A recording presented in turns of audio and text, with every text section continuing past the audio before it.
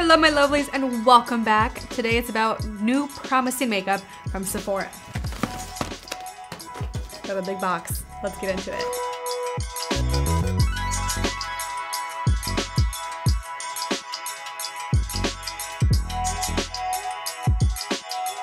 This is by Peace Out, and this is their Instant Pore Perfector. $28. It's a lightweight silicone-free pore perfector that blurs the look of pores and reduces visible redness while helping to improve the look of skin texture over time. I think that's awesome. It has hyaluronic acid, niacinamide, and then some kind of mushroom extract. As always, when I test a new primer, I like to test on my forehead and then half of my face instead of the full face because I want to see if it really does make a difference. And it's kind of, it's a very thick texture. Look at that. Honestly looks like a putty. And it looks like it's pigmented, but it's not. So I'm looking at my pores and my face on my left side and it does look a little bit more smooth and airbrushed, but it's not completely a mattifying pore filling type of a primer, which I actually really like. But this side does look a little bit more smooth and a little bit more even. Let's move on to foundation. This I am really, really, really looking forward to. is the new Patrick Ta the Face Foundation. So it's a duo that includes a blendable medium coverage cream foundation that's paired with a satin finish powder. Medium coverage, and it's saying it's best for oily combo slash normal skin. And I also picked up the new brush that goes with the foundation. The brush is $45. Okay, I'm gonna swatch this and see the cons- oh wow, that is super creamy. Oh my, wow, that's creamy. I wanna blend it out, see what it feels like. If it's gonna blend into like a cream to a powder finish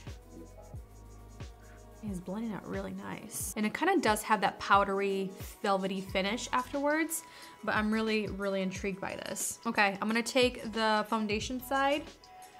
Ooh, okay, pick it up on the brush side. We're gonna go on the no primer side first. Oh wow.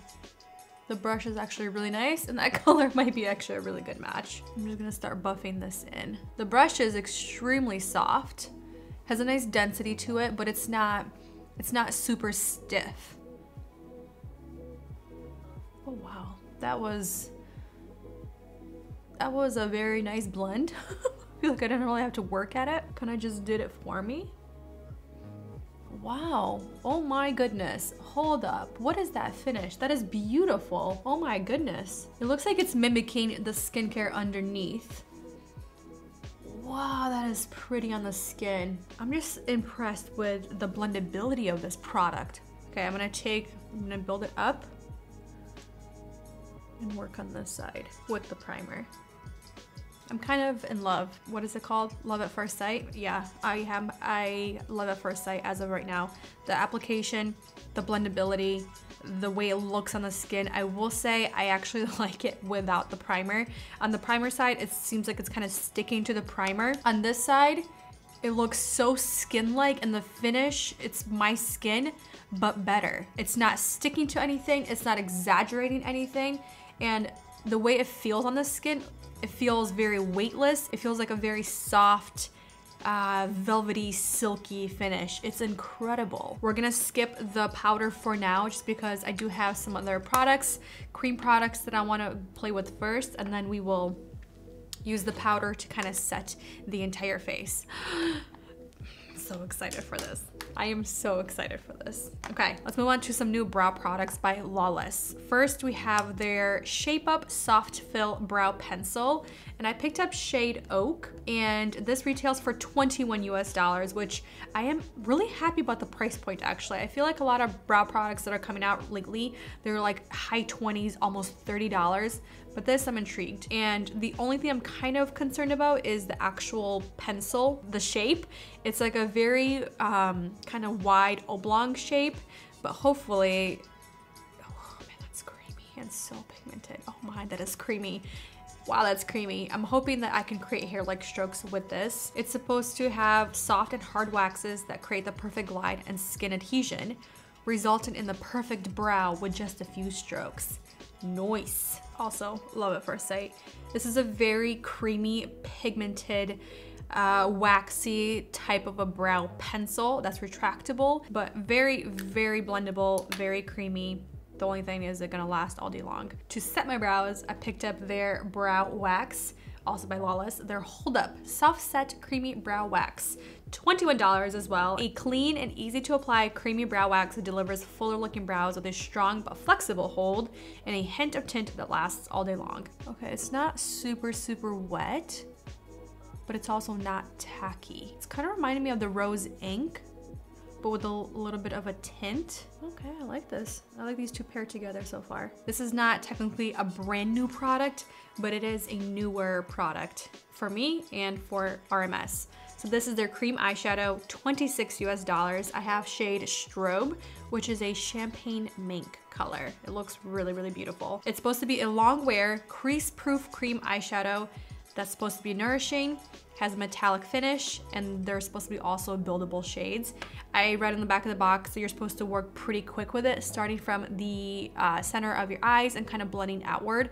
And they do set very fast, so working one eye at a time.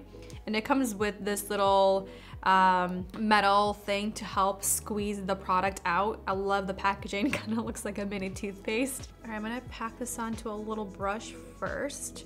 I'm using the Sephora Pro Shadow number 15 brush. I love these one and done type of eyeshadows. This is the Sigma E25 and just gently blend this out right before it sets. Again, I have no uh, eyeshadow base underneath as well because I'm really curious how this is going to wear.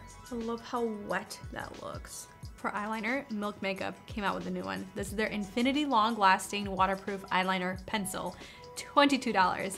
Again, loving these price points. This right here, it's a creamy twist up waterproof eyeliner pencil that glides on smoothly for intense color that won't budge for up to 12 hours. It also comes with a detachable sharpener, which is nice. And you also like a little smoker, um, like a rubber based uh, pencil at the very end as well with a little cap and then it is retractable. Oh yeah, that is super creamy. It's a very matte black color, but it's not super, super black. It looks very wearable.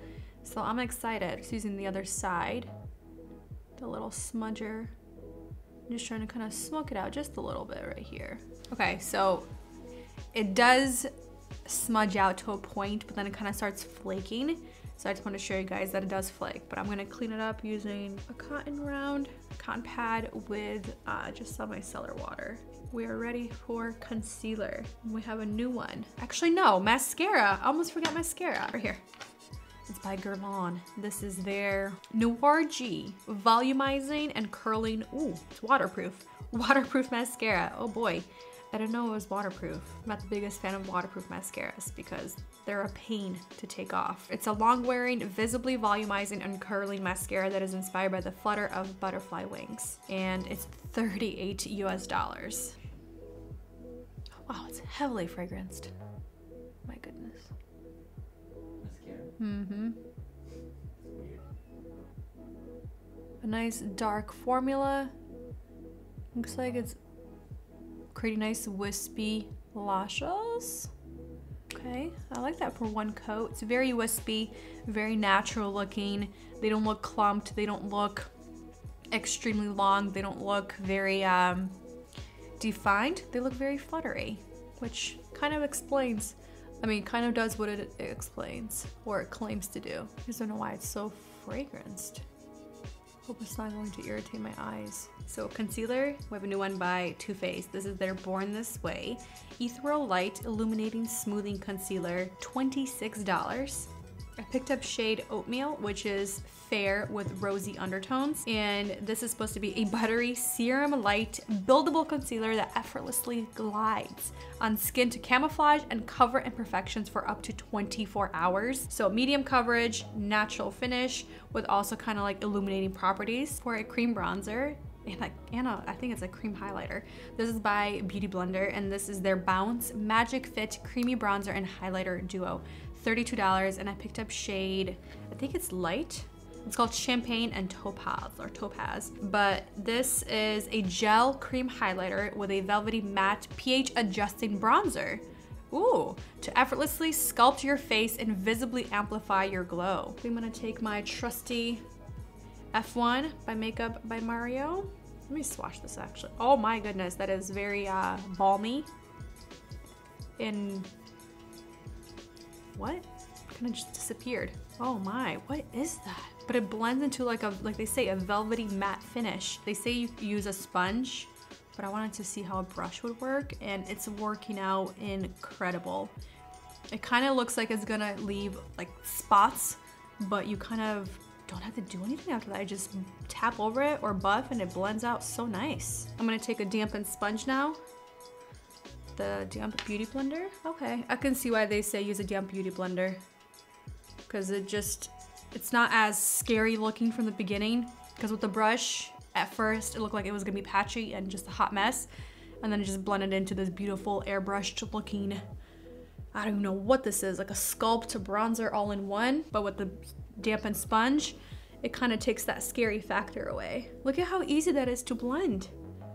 And yes, I like it better with a sponge because it's just so easy. So for blush, we have this one by Melt Cosmetics. It's not new, but this color is new to their collection, to their natural finish collection in shade Pink Sand. How pretty is that? It's a nice corally peach pink. So it's a cream blush formula in a natural and pearl textures that gives your cheeks a natural glowy finish. This is heavily scented. It's kind of like a vanilla vanilla something. It's not bad, but it is very heavily scented. Wow. Let me swatch this. Very creamy. Let's see how pigmented this is. It has a very balmy texture as well. Very slick. I wanna blend this out. And again, blends into kind of nothing. Hopefully it layers. Kind of build that into my brush. Okay, looks like it's applying something. It looks very, honestly, very, very natural on the cheeks. And this is by Rose and Ben, their C41 blush brush. One of my favorite brushes at the moment. Works well with cream, powder, different types of finishes. It's a great blush brush. Wow, this is actually a really beautiful formula. Again, very easy to use, almost foolproof, and the finish is really beautiful. It's not exaggerating any of my fine lines. It's not exaggerating the texture of my skin, my pores. It just looks very natural, very soft, nice and glowy and healthy, but there's no shimmer or glitter that's visible on the cheeks. Um, let me quickly finish the eyes. Actually, no, let me set the face before I move on. I'm gonna set the face using the Patrick Ta and the other side of the brush. It's very soft powder. It's not super mattifying. It still has that shine peeking from within, that glow, not the shine, the glow. It doesn't really look like I have powder on my face. It doesn't look dry, it doesn't look heavy. I'm noticing one thing about the eyebrows, that brow wax is not really holding up my brows the way they describe or the way I ex expected it to hold. Finish off the eyes, I'm gonna take a little bit more of the eyeshadow. I'm gonna work that on the lower lash line and then finish off with um, mascara. Stick a little bit of this highlighter. They said it's kind of like a gel, what do they say? A gel cream highlighter, but that's actually really pretty. Oh, that's actually really pretty. I'm just gonna work it onto the sponge. Just do it like right here. Wow, that's a very, oh my, okay. It's very wet, but honestly it looks so pretty. It looks gorgeous with this blush. I'm gonna work it right into the inner corner. Actually, maybe use a brush with this? It's a very not in your face type of a highlighter, but it packs a punch. And it's not shimmery or glittery looking also. For lip liner, Bare Minerals, their Mineralist Lasting Lip Liner, 19 US dollars. I picked up shade Blissful Blush, which is a warm pink. It's, like they said, a richly pigmented, creamy lip pencil that glides on easily to extend lip color wear while resisting feathering and bleeding. The only thing I will say it's making me nervous is because this formula is so creamy, it looks like it's breaking very easily, so. Yep, there it goes. That's no mistaking, this is creamy. One of the closest match to my natural lip color that I've found in a long time. Last but not least, for the lipstick, it's by NARS. This is their Power Matte Long Lasting Lipstick $34 and I am obsessed with this packaging. I love how slim, how square, how minimal very like modern. I love this packaging. And this shade right here is uh, Sweet Disposition. It's a pink beige. That's the color. Woo, that is pretty. Um, it's a transfer resistant matte lipstick that glides on, delivering bold color with all day comfort for up to 10 hours. They're not saying that you should wait a couple minutes to reapply or anything like that, but I'm, I'm excited for for this makeup because I like most of the products so far. I'm not the biggest fan of um, the eyebrow wax. I actually applied some of my Benefit 24 hour gel on top of that wax just because the wax was just weighing my uh, my hair my eyebrows down but as of right now everything looks very promising I'm just obsessed with the way my skin is looking and it looks beautiful in person and in the mirror like really close up I just the skin looks so pretty I'll keep you guys updated.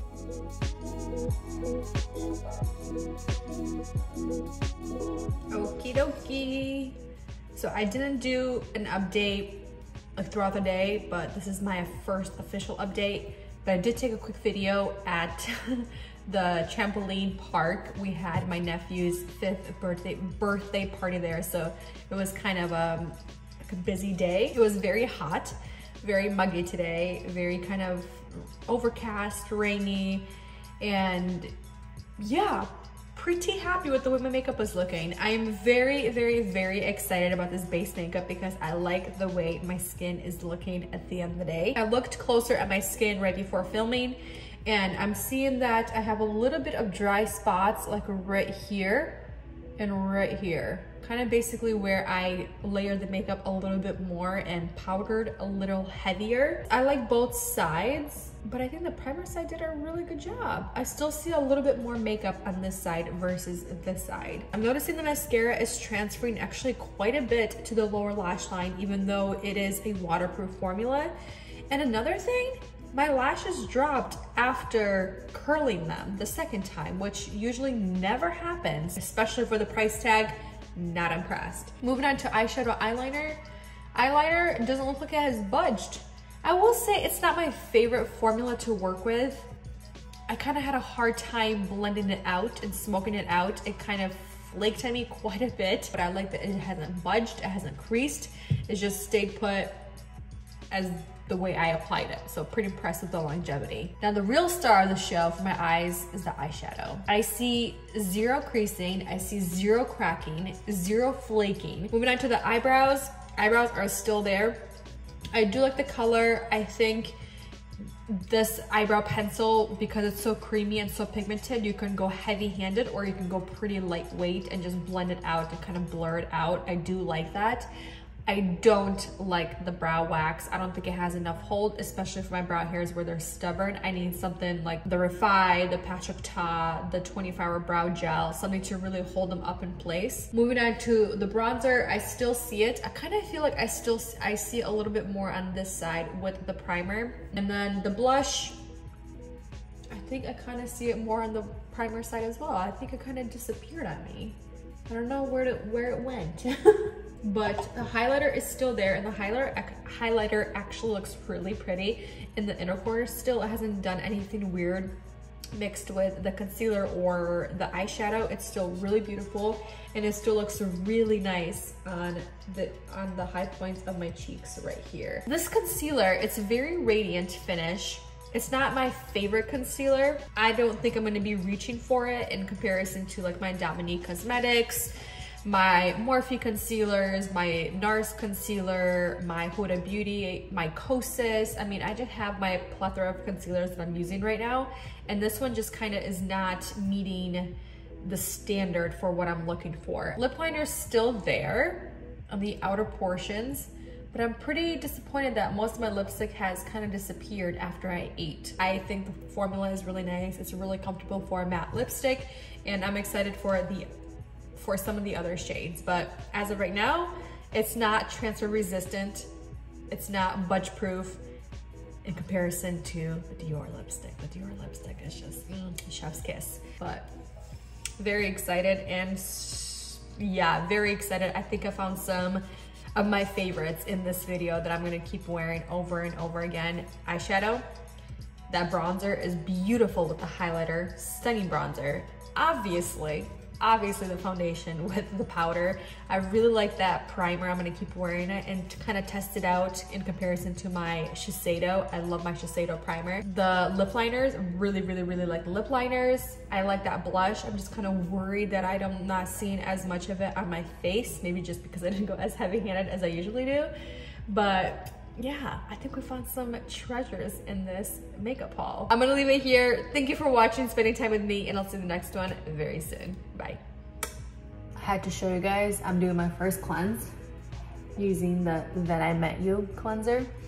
And uh, maybe that's why the mascara was transferring and smudging all over the place on the lower lash line. It's maybe like a long wearing mascara because it's not acting like a waterproof mascara. I'm gonna have to keep wearing this mascara because I was not looking forward to taking this off, but are you seeing this? I'm happy that it's not being rough on my lashes when I'm removing it.